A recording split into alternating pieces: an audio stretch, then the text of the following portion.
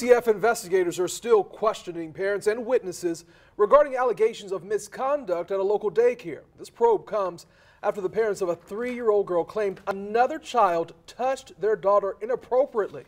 The blurry security camera video raises questions about supervision and the child's behavior. We brought this story to you first last night.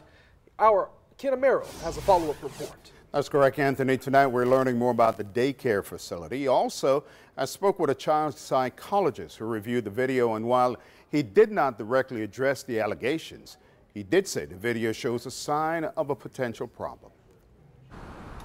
Before this recent complaint, St. Stephen Learning Care has had a few problems with DCF.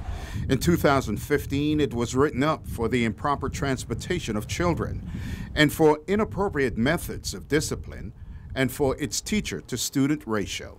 Big bag. And now a complaint involving this three year old.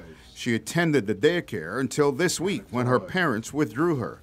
Her parents say it appears she was touched inappropriately by a boy. They're convinced that this is what they see in this security camera video. You can't leave children alone Never, especially in a daycare facility. That's your job to protect these children and to keep them safe. Two teams from DCF, Child Protective Investigations and Child Care Regulations, are now investigating the parents' allegations. It's certain to be a difficult situation for both families. Dr. Max Horowitz, a child psychologist with Keystone Behavioral Pediatrics, has done some work in childhood behaviors. Behaviors that are might be considered inappropriate uh, are definitely very frequent in young Within children. Horowitz watched the two-minute security camera video. Obviously, it's um, concerning. He could not say if there was good touch or bad, but he says the video raises some questions.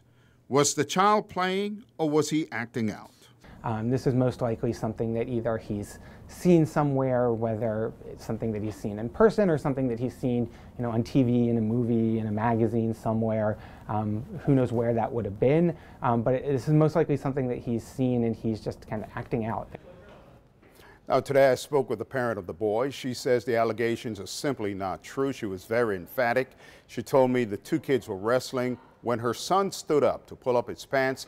She says it was because he was not wearing a belt and it fell down. She says her family is having a difficult time dealing with this issue. Now, DCF has 60 days to complete its investigations. Back to you. Sure, that is.